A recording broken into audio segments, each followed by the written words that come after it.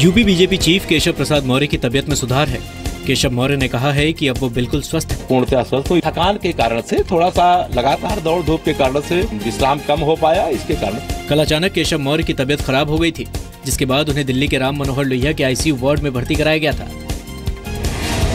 UP में हार के बाद कांग्रेस में बगावती सुर उठ रहे हैं। राज्य में पार्टी के नेता नसीब पठान ने हार के लिए गुलाम नबी आज़ाद को जिम्मेदार ठहराते हुए उनके इस्तीफे की मांग की है। नसीब पठान ने समाजवादी पार्टी से गठबंधन पर भी सवाल उठाए। उन्होंने कहा कि कांग्रेस की सीट से समाजवादी पार्टी के 20 उम्मीदवार चुनाव लड़े। ये कैसा गठबंधन था? नसीब पठान के मुताबिक अगर पार्टी 403 सीटों पर चुनाव लड़ती तो विपक्ष में बैठ सकती थी। चुनावी नतीजों के बाद कल लखनऊ के समाजवादी पार्टी मुख्यालय में पार्टी विधायकों की बैठक हुई। इस बैठक में सभी सैतालीस विधायक मौजूद रहे। बैठक में विपक्ष के नेता के नाम पर चर्चा हुई और आखिरी फैसला पार्टी अध्यक्ष अखिलेश यादव पर छोड़ दिया गया। समाजवादी पार्टी के विधायकों ने ईवीएम पर भी सवाल उठाया। यूपी के देवबंद से जीतने वाले बीजेपी विधायक ब्रिजेश सिंह अपनी विधानसभा का नाम बदलना चाहते हैं। ब्रिजेश सिंह देवबंद का नाम बदलकर देववृंद करना चाहते हैं। ब्रिजेश सिंह का कहना है कि देवबंद का संबंध दारुल उलूम से ज़्यादा महाभारत से है। उनके मुताबिक पांडवों ने यहाँ पूजा की थी। ब्रिजेश सिंह ने कहा है कि उत्तर प्रदेश विधानसभा के पहले सत्र में ही वो नाम बदलने का प्रस्ताव रखेंगे। यूपी के कानपुर में विधायक सतीश महाना के समर्थकों ने उन्हें सीएम बनाने के लिए हवन पूजा की। महाना लगातार पांचवी बार विधायक चुने गए हैं। लिहाजा उनके समर्थकों की इच्छा है कि वो सूबे के सीएम बने। महाना के समर्थकों ने पीएम मोदी और बीजेपी अध्यक्ष अमित शाह के पोस्टर लगाकर हवन किया।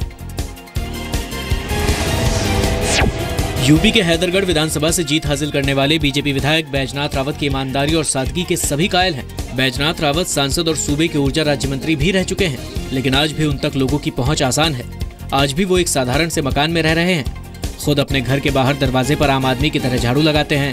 जानवरों को खाना खिलाने से लेकर खेती करने तक का काम बैजनाथ रावत खुद करते हैं। यूपी के शाहजहांपुर में समाजवादी पार्टी के एमएलसी संजय मिश्रा पर जिला अस्पताल के मेडिकल स्टाफ के साथ मारपीट का आरोप लगा है। संजय मिश्रा जिला अस्पताल में किसी मरीज़ से मिलने पहुँचे थे। आरोप है कि इस दौरान उन्होंने नर्स और कर्मचारियों को पीट दिया, जिसके बाद अस्पताल के नाराज़ कर्मचारियों ने एमएलसी के समर्थकों की जमकर पिटाई कर दी। मेडिकल स्टाफ ने एमएलसी के खिलाफ कार्रवाई न होने पर हड़ताल की धमकी दी है। यूपी के मैनपुरी में एक महिला को परेशान करने वाले मंचले को पुलिस ने धर दबोचा। मंचला कई महीनों से फ़ोन पर महिला को परेशान कर रहा था। महिला की शिकायत पर एसपी ने कार्रवाई का भरोसा दिया। एक महिला कांस्टेबल को मंचले को जाल में फंसाने के लिए कहा गया। महिला कांस्टेबल ने मंचले को मिलने के लिए बुलाया, फिर पिटाई कर पुलिसकर्मियों को सौंप दिया। इलाहाबाद में नमामि गंगे योजना में स्कूली बच्चों से बेरहमी की बात सामने आई है। संगम तट पर गंगा स्वच्छता पखवाड़े का उद्घाटन समारोह रखा गया था। इस समारोह में छोटे छोटे स्कूली बच्चों को बुलाया गया था। जिन्हें धूप में संगम की रेत पर काफ़ी देर तक खड़ा किया गया। इस दौरान एक बच्ची बेहोश होकर गिर पड़ी। हालाँकि इसके बाद भी कार्यक्रम जारी रहा। डीएम संजय कुमार से जब लापरवाही के बारे में पूछा गया तो उनका जवाब था कि इतने बड़े कार्यक्रम में ऐसे वाक्य होते हैं। पंजाब के सीएम के तौर पर शपथ के बाद कैप्टन अमरिंदर सिंह ने चुनावी घोषणा पत्र में जनता से किए वादों को पूरा करने की बात दोहराई। सरकार बनने के साथ कैप्टन अमरिंदर ने विभागों का भी बंटवारा कर दिया। गृह विभाग अमरिंदर ने खुद रखा है।